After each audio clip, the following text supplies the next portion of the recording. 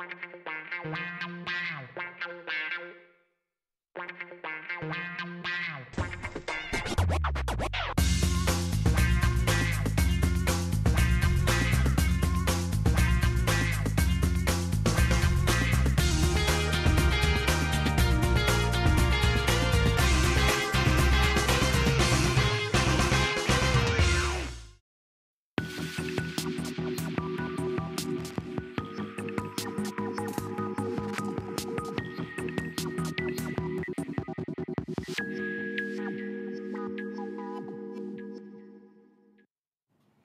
На телеканалі Віта програма на часі та я її ведуча Ольга Мотрич. Вітаю вас.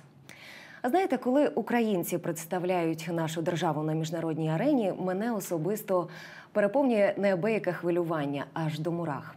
А коли ще отримують відзнаку і визнання світової спільноти, переповнює ще й неабияка гордість, тим паче, коли це вінничани.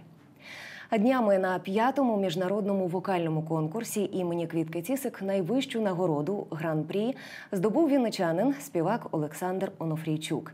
І сьогодні ми запросили Олександра до нашої студії, аби розпитати, як усе відбувалося про інші здобутки, напрацювання, а також творчі плани. І я рада бачити вас у нашій студії, Олександре. Доброго дня. Перш за все, вітаю вас із перемогою, і хай вона буде поштовхом до подальших творчих успіхів. Так, я також цього би хотів би. Але перш ніж ми перейдемо до розмови, пропоную подивитись короткий відеоматеріал.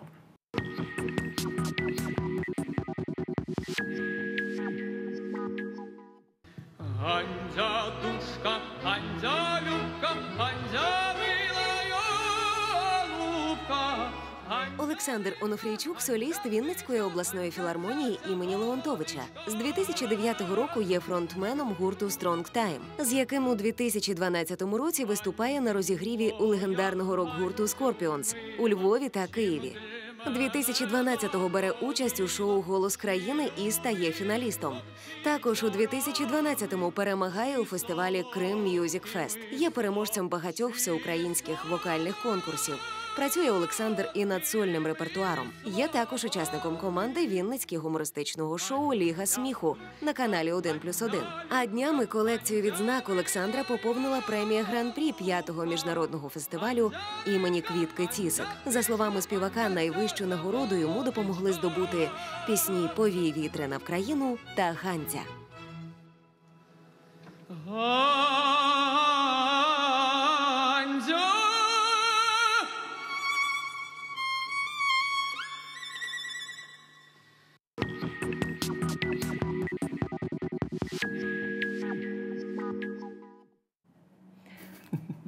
Сподобалось відео.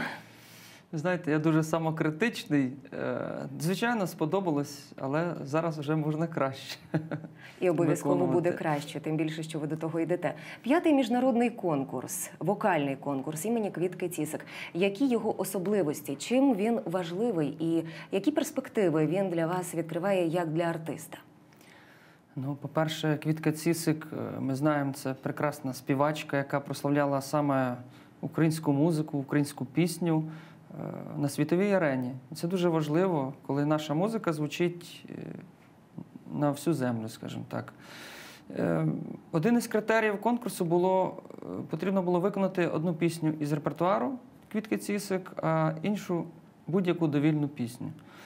Ну, я так подивився, що б я міг би ви- виконати з репертуару, і дізнався, що Квітка Цісик також співала пісню Ганзя. До речі, що приємно, що ця пісня народилась на Поділлі. Написав її Денис Бонковський. Ось, а другу пісню я також обрав, яка народилась на Поділлі, «Повій вітра на Україну. Е, Слова до цієї пісні написав Степан Руданський. І так сталося, що високоповажне журі е, віддало мені найвищу перемогу гран-прі.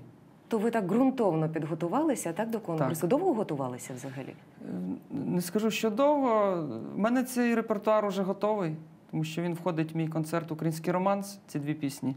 Тому я був вже підготовлений. Мені просто потрібно було надіслати заявку, записати якісне відео. І вже на розгляд журі вони обирали людей на другий тур. виконавців. Скільки було учасників?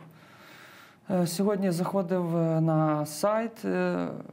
В інтернет-мережах я дивився, що було 75 учасників з різних країн. Ну, основна частина була з України. Це були різні категорії, це був естрадний жанр і академічний жанр. Так вийшло, що Квітка Цісик виконувала і деякі академічні речі, але в основному її знають більше як естрадну співачку. Е, Вона подавала навіть такі, скажімо, народні українські пісні е, в естрадному жанрі, і це ну, дуже подобається людям і подобалося. Але от через пандемію і карантинні обмеження цьогоріч змінили дещо формат конкурсу. Він відбувався у форматі онлайн. Так? Так, е, конкурс був, е, не скажу, що я, думаю, що не так гладко організаторам було його провести. Всі ці обмеження вони дуже е, внесли корективи свої. Тому спочатку цей конкурс подавався так, як він має бути тільки онлайн. Як тільки було пом'якшення е, ситуації з ковід, е, одразу організатори написали на своїй сторінці, що друзі, ми будемо старатись е, зробити цей конкурс наживо. Учасники, які прийшли в другий тур, і гала-концерт Тобто буде це ще було декілька турів. так, буде проводитись наживо. І так сталося, що вже на гала-концерті і на другому турі якби вирішувалась доля призових місць вже. Хто вирішував цю долю? Ну, Відомі музиканти, артисти? журі, так, це співаки з Національної опери України. Е, Це також е, і Павло Дворський, народ, народні артисти України, Ніна Матвієнко, е, великий склад журі. Також були і представники України за кордону в складі журі. Ось тому мені приємна ця дуже перемога, що мій виступ так високо оцінили професіонали, е, народні артисти України. І тому ця перемога мені дає е, нове натхнення, якусь ще, це ще одна сходинка в моїй кар'єрі музичній. А Якісь перспективи дає вам от у професійній діяльності? Е, Звичайно, будь-який конкурс е, це завжди спілкування. Це вже спілкування з, з Нові журі, знайомства, нові знайомства з учасниками, е, з організаторами показати себе. Так, з організаторами конкурсу. Наскільки я знаю, е, раніше при можливості е, організатори цього конкурсу е, брали українських виконавців і робили такі вечори української культури і в Франції, е, в Польщі, в Іспанії, в європейських країнах. І діаспора приходила, і приходили європейці послухати українську культуру, українську пісню. А от саме для цього конкурсу вокального квітки імені Квітки Цісик потріб ще було потрібно проходити додатковий кастинг. Е, Був кастинг, е, коли надсилали відео, журі відбирали найкращі номери, тому що до участі. е, так, я був в п'ятій категорії віковій. П'ята категорія це вже змагались там професіонали, співаки вже з досвідом. Звичайно, були і дитячі категорії, і, це- і ну, як я ж кажу, п'ять категорій. І ну, до нас вже, я думаю, що більш прискіпливо журі ставилось, тому що вже коли людина має великий досвід виступу і приймає участь на конкурсі, звичайно, від таких учасників е, потребують е, найкращого виконання. У вашому послужному списку досить таки багато конкурсів. Е, Я так е, прочитала про вас інформацію, помітила, що от 2012 був, напевно, найбільш плідний у цьому плані. Це і Крим Мюзик Фест, і Голос країни. Е, Чим саме знакові ці конкурси є для вас? Знаєте, в моєму житті було два знакових періоди творчих. Перший період був, коли я був ще дитиною, підлітком. І я тоді виграв гран-прі е, Вінницького прекрасного конкурсу Музична парасолька, міжнародний конкурс. Там також було дуже поважне, серйозне журі. І переможці цього конкурсу потім представляли Вінницю на інших міжнародних конкурсах.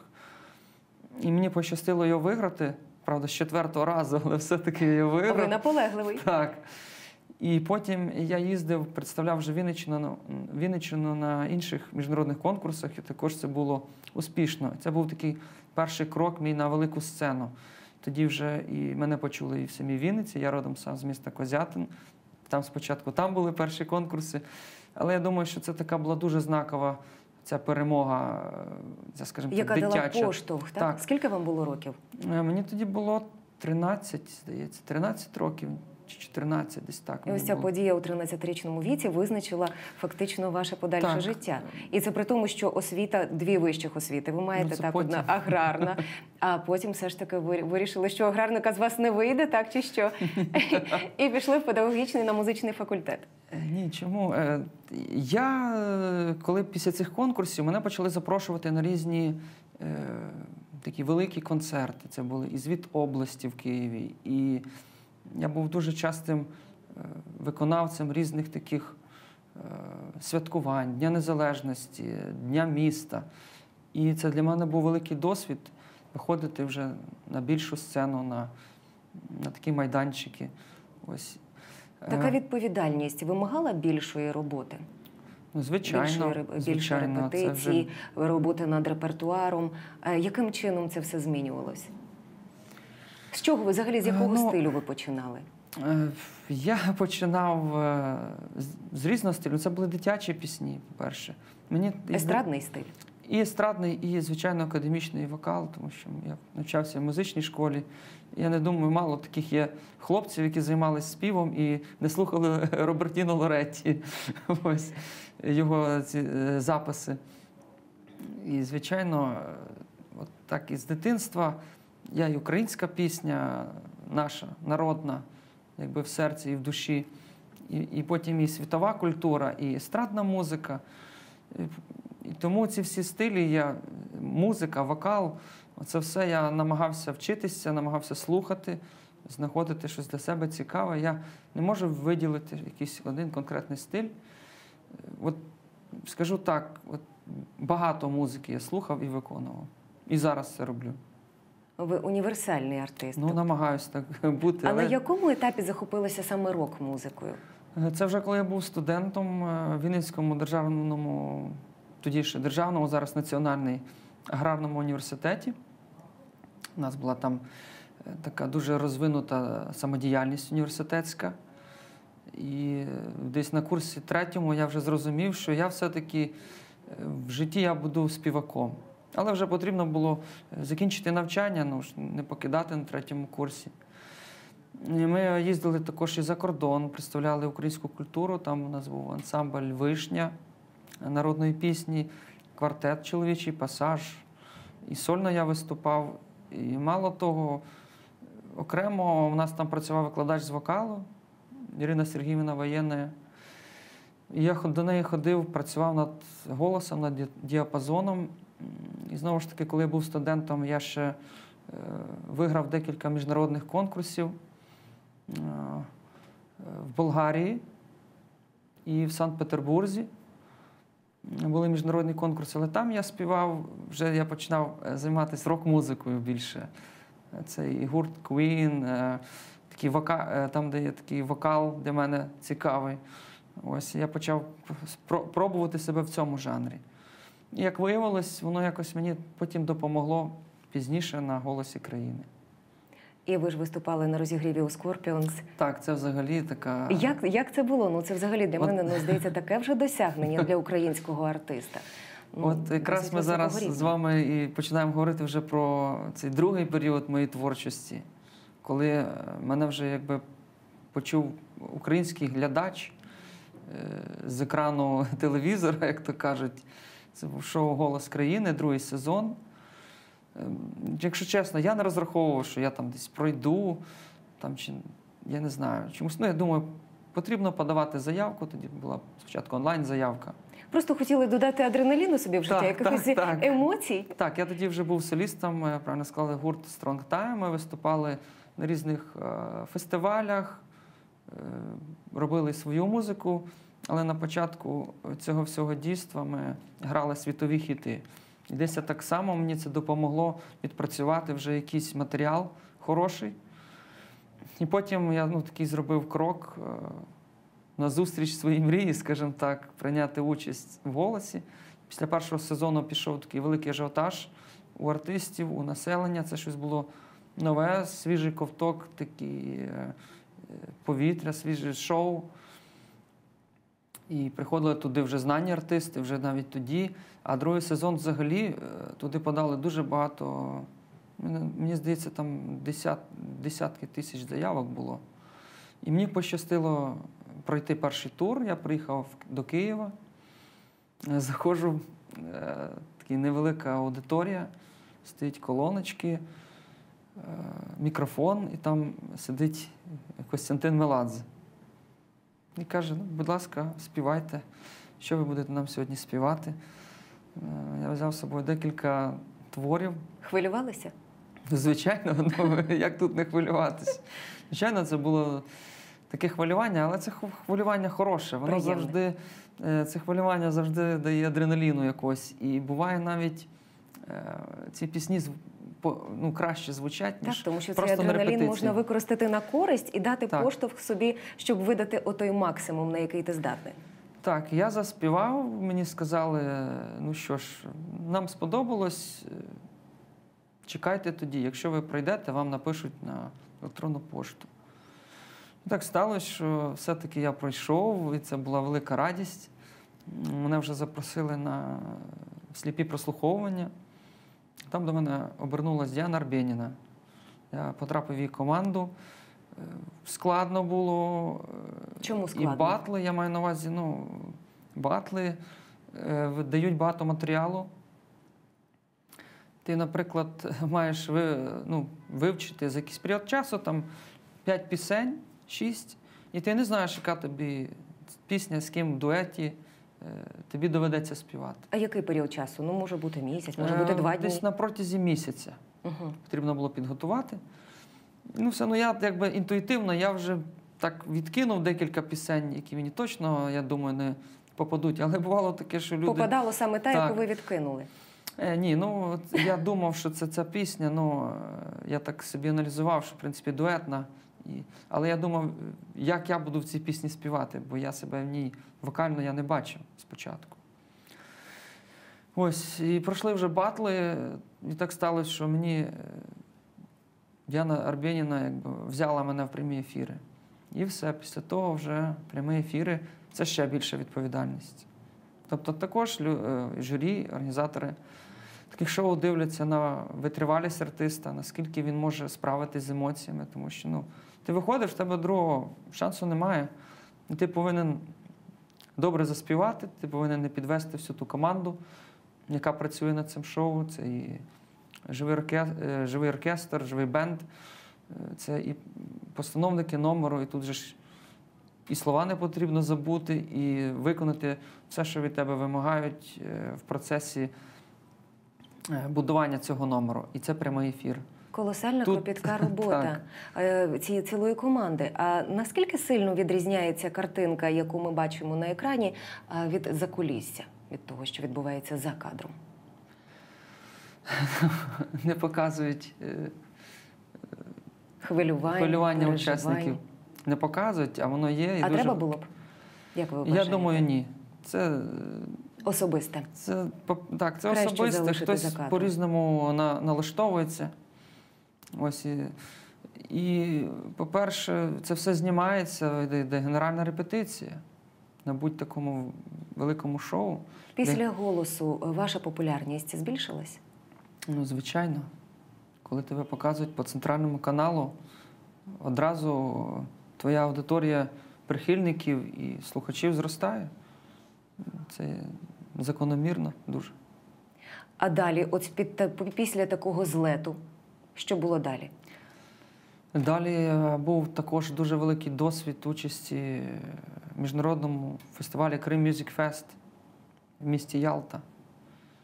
І там е, я відчув це спілкування з публікою, я відчув, е, що я на правильному шляху музичному, що я вже починаю досягати багато чого в музиці. До того якось, ну так знаєте. Ви самі себе не Е, оцінювали так, і так, почали. Так, я просто працював, і, а коли ти вже подивився на якусь пророблену роботу, і ти розумієш, ось ти стоїш на сцені, е, скажімо так, ділиш сцену, хоч ти ще молодий артист, але ти вже ділиш сцену з визнаними артистами багатьох країн. Е, Це додає впевненості. Так, звичайно. І мало того, потім, коли оголосили, що я переможець, і мене нагородила Алла Борисівна Пугачова. Ось, і це взагалі такий для мене ну, шоковий стан був. На зірковість це не е, вплинуло? Чи якийсь час було?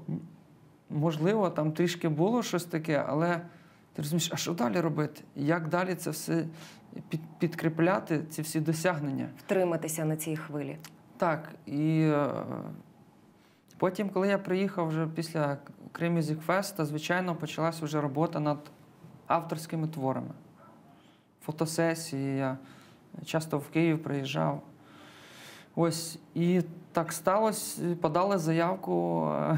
Це також дуже такий величайший досвід для мене. Подали заявку на розігрів до Scorpions. Ми дізнались, якось я зараз розкажу для вас предісторію. З дружиною приїхали на концерт Scorpions. Вона поціну- ну, поціновочка їхньої музики. Ми приїхали, стоїмо, ну, просто там тисячі людей. І виходить гурт на розігрів. Ну, поки Скорпіон готується, розігрів публіки йде. Виходить гурт, починає грати, і я такий думаю, о, було б класно колись так само вийти на розігрів, виступити. Це було б чудово. Ну, якби е, концерт Тобто- закінчився, ми поїхали додому. А потім прийшов час, і ми подали заявку. А, а, а може пощастить. І наскільки я знаю, що Scorpions обрали нас е, спочатку тільки виступати в Києві на розігріві.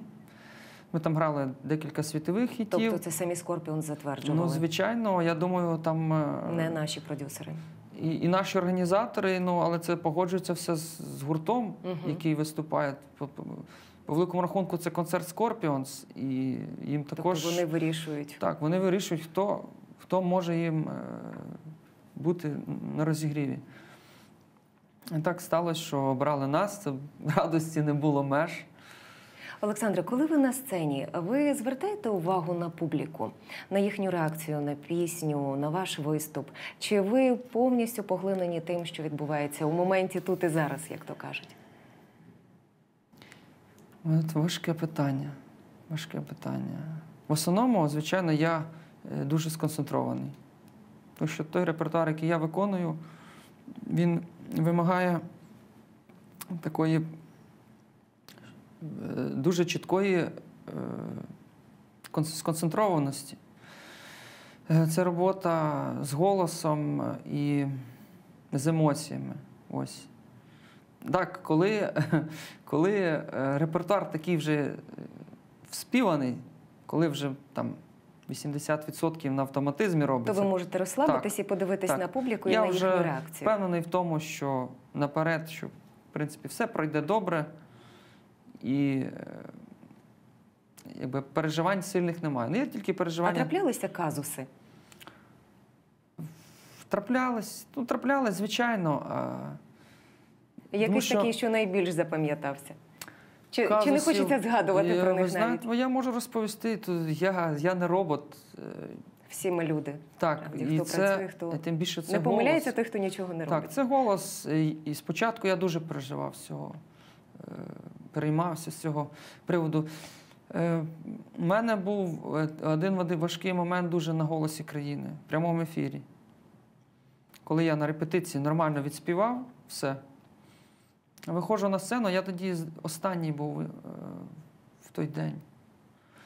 Я виходжу на сцену, і в мене якийсь такий комок в горлі, чи що. Спазм м'язовий відбувся. Може, чи від переживань, чи від чого, чи ну. Я просто не можу видати.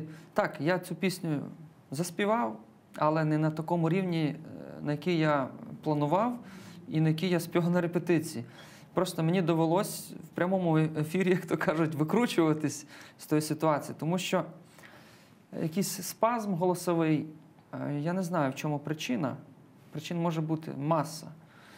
І я не зміг е, заспівати всі, ті ноти, які я повинен був заспівати. Мені прийшлось прямому ефірі, як то кажуть, е, замінювати, імпровізувати. імпровізувати. Так. Е, Звичайно, воно було більш-менш нормально. Я ж, Але ви знаєте, але що я це знаю, так, що як це не бути. так, як я хотів. Який ваш голосовий діапазон? Я у цьому не дуже розбираюся, тому Просто щоб Ну, знати. Я не знаю, але я ну, думаю, який що... він був на початку і зараз.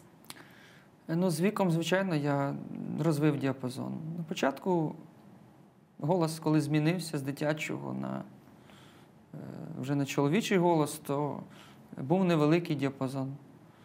Але е, за рахунок тренувань, за рахунок е, складних творів, складних, складного репертуару, я зміг його розвинути. Виконуєте якісь вокальні вправи, чи це швидше просто робота з репертуаром? Це робота з репертуаром, коли ти собі ставиш ціль заспівати якусь складну річ. Буває так, що ти місяць. Буває роками, рік проходить, ти тоді тільки бачиш, що ти вже близький до хорошого виконання цієї пісні. Ось так. Ти можеш там, як то кажуть, ноти співати, але ти не завжди можеш передавати емоцію цієї пісні. Ось так. Спочатку я працював тільки над діапазоном. Бо спочатку було завдання, це складне завдання заспівати хоча б по діапазону пісню, наприклад, ту саме Show Must Go On. Складна дуже річ. А потім, коли вже ти це зробив, ти починаєш працювати над образом, над подачею цього твору.